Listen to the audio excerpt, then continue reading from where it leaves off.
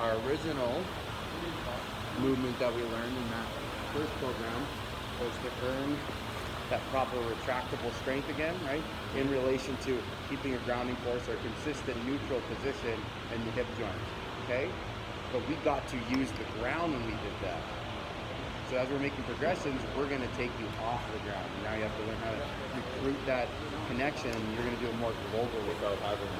Yes, without yeah, without having the assistance you can call. Okay, so what we're gonna do here is these are gonna be called your banded prone shoulder dislocations. Okay, so now you're on a prone position where you don't get as much recruitment or grounding force, but you're still gonna recruit from that area. Okay, because you don't want to do this where you're lifting through your neck and your lower back and your legs are cheating. So Yeah. you're gonna fight all those instances. You pull your pelvis into this, and now you're going globally. So if I start here, pull the weight down and back, I'm gonna pull some separation on there, pull around the body, okay?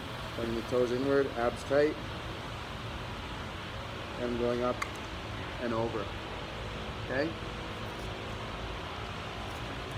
To make it harder, you would move your body a little bit farther through. I'm okay? at Gil torso So, test. yeah, so you would start, you know, here, and then as you're making progressions, you could go even past the sternum, okay? So go for that.